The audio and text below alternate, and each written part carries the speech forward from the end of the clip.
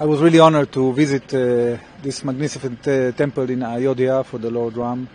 I was uh, uh moved to see the number of pilgrims that are coming uh, every day, about 10,000, uh, and this is a testament of the importance of this place for the Hindu faith. Um, as you know, Israel and the people of Israel, like the people of India, are a nation people. They have an ancient religion and tradition and heritage.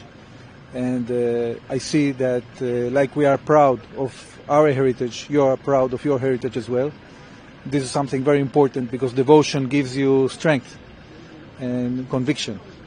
Um, and therefore, uh, I was really moved to visit here and to see the devotion of the pilgrims and the worshippers. Yes, uh, as I said, the location is very important because uh, it's not just uh, imagination. There are things that happened here in the past, and people are commemorating day after day, year after year, and they are remembering all the all these values. Uh, and, and, this is uh, the importance of the heritage, and it's part of the identity of this country.